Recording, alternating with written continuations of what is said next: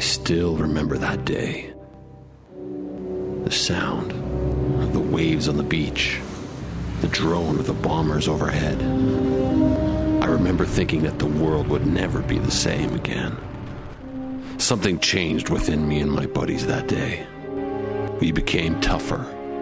We became men. We became heroes. Sorry about that. Wrong trailer.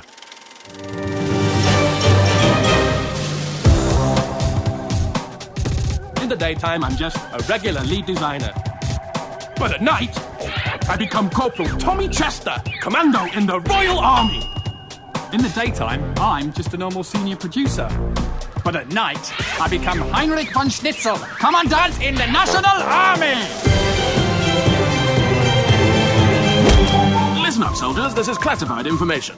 Battlefield Heroes is a download for free, play for free cartoon shooter. To play the game, you visit the Battlefield Heroes website and hit the big button that says Play Now.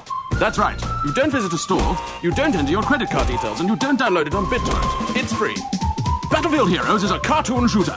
This is a type of shooter that focuses on fun, accessibility, and not getting shot in the face repeatedly by a swearing, ultra skilled 15 year old boy who plays the game every day for 8 hours. The gameplay focuses on things like shooting the bad guys, using your special abilities, and running over people with a huge cartoon tank.